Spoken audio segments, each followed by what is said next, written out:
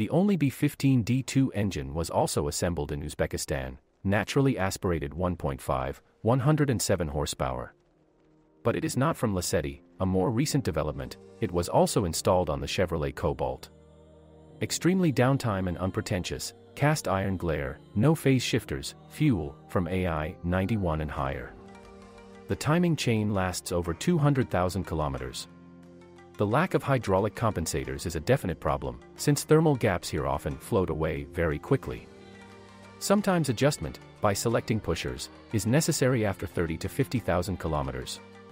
If you neglect it at all, then by 100,000 kilometers it is possible that the camshaft will wear critically, which will be indicated by knocking noises.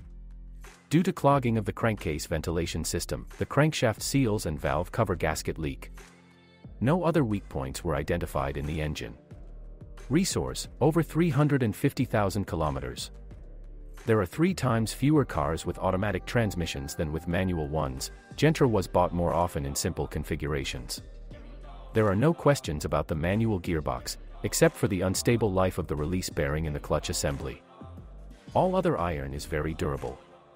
The mass-produced 6T30 automatic transmission is well known from the Cruze and Aveo models. You can't call it particularly durable, there are known problems with the solenoid block and the 4-5-6 gear drum. There is a tendency to overheat.